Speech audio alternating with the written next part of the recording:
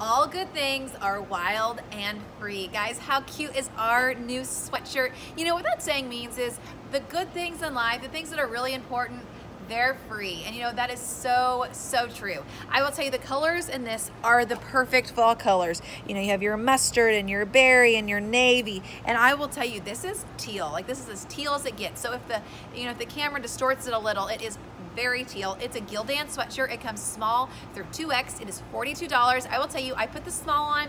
It fit just fine, but I wanted more length to wear with leggings, so that's why I have a medium on in this. You know, if you're just gonna wear jeans with it, I suggest ordering your normal size unless you like, you know, more of a slouchy look. Uh, like I said, I put on with leggings and just some cute tennis shoes, a fun mustard hat.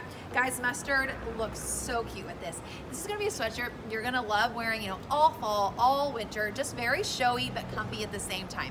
Guys, these don't things don't last long at Libby's. Come in store, snag one there. You can um, shop it right here on our website or at libby'sboutique.com at sold.com.